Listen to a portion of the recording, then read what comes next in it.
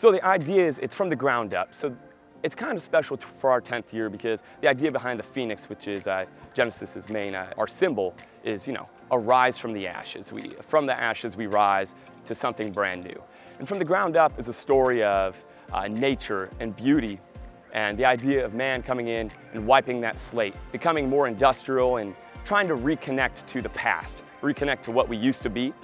Uh, it's exactly like what we do with the Corps every single year. Every year it gets better, for sure. Like for sure, it gets better every single year. Uh, we started off with 27 horns, uh, a few battery, a few front ensemble, uh, and the year after that, it just kind of turned into a little bit more. It's really hard to not notice the growth every single year. Oh, I mean, the entire way has been, I mean, what Drum Corps is. It's been a great time. It's been a celebration of everything that we've done in the past and everything we have yet to do.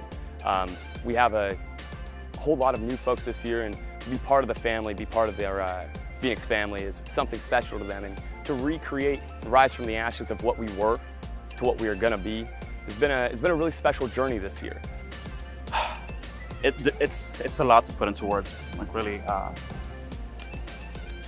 it's family. Like it's it's legit family. I, have there's a lot of new each each each year. There's a lot of new people and a lot of new staff. But at the same time, we have the consistency of, of, of the original members, some of the original members, and and some of the kids that follow us. The vibe's been fantastic. Everybody's excited. Everybody's been waiting for this this moment right now. Of course, the first show's it's the big one. It's the one that uh, everybody remembers. That first one. My first show in Mystical was right here.